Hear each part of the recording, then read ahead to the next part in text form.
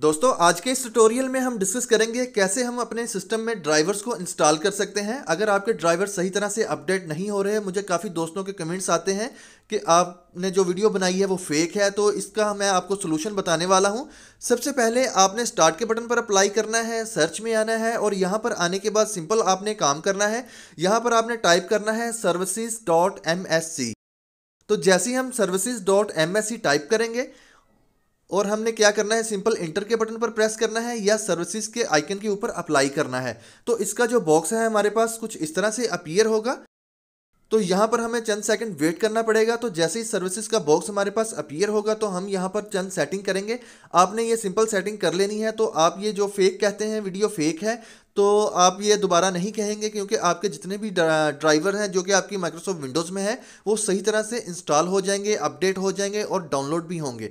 तो सबसे पहले हमने क्या करना है? एक किसी भी फ़ाइल के ऊपर क्लिक करना है डब्ल्यू का बटन प्रेस करना है। तो जैसे ही हम डब्ल्यू का बटन प्रेस करते जाएँगे तो हमने यहाँ पर फाइंड करना है विंडोज़ अपडेट तो विंडोज़ अपडेट जैसे ही हम फाइंड कर लेंगे, हमने इसके ऊपर डबल क्लिक करना है। तो यहाँ पर हम देख सकते हैं विंडोज़ अपडेट इसके ऊपर क्लिक करना है। तो ये मिनी बॉक्स हमारे पास कुछ इस तरह से अपीयर होगा। मैनुअल को हमने शिफ्ट करना है ऑटोमेटिक पर। तो जैसे ही हम ऑटोमेटिक पर सिलेक्ट करेंगे इसको, यानी कि इसकी जो स्टार्टअप टाइप है अप्लाई करेंगे। ओके करेंगे। तो जैसे ही हम ओके के बटन पर अप्लाई कर लेते हैं, इसके बाद हमने इस बॉक्स को क्लोज करना है। माई कंप्यूटर के ऊपर राइट क्लिक करना है। जैसे ही हम इसके ऊपर राइट क्लिक करेंगे और प्रॉपर्टीज़ पर अप्लाई करेंगे तो हमारे पास सेटिंग का जो बॉक्स है, कुछ इस तरह से अपीयर होगा। यहाँ पर हमने चंद सेकंड वेट करना है और यहाँ पर फाइंड करना है राइट साइड पर डिवाइस मैनेजर इसके ऊपर अप्लाई करना है। जैसे ही हम इसके ऊपर अप्लाई करेंगे, इस बॉक्स को क्लोज करेंगे तो डिवाइस मैनेजर का जो बॉक्स है, हमारे पास एल्यूमिनेट या अपीयर हो जाएगा।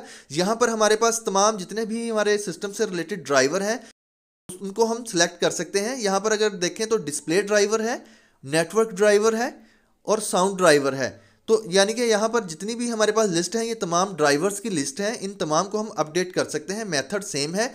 आपने नेटवर्क ड्राइवर को करना है अपडेट करना है, यानी कि राइट क्लिक करना है अपडेट करना है। सिंपल मेथड है सर्च ऑटोमेटिक के ऊपर आपने अप्लाई करना है। लेकिन इसके लिए जो शर्त है, वो ये है कि आपने अपनी सर्विसेज़ डॉट एमएससी में जाके विंडोज़ को ऑटोमेटिक पर सिलेक्ट करना है। तो जैसे ही आप ऑटोमेटिक पर सिलेक्ट करेंगे, तमाम प्रोसेस या तमाम ड्राइवर्स आपके सिस्टम में इंस्टॉल हो जाएँगे। तो जैसे ये तमाम ड्राइवर इंस्टॉल हो जाएँगे, आपने सिंपल काम करना है, आपने अपने सिस्टम को रीस्टार्ट करना है ताकि तमाम जितनी भी इंफॉर्मेशन है वो अपडेट हो सकें।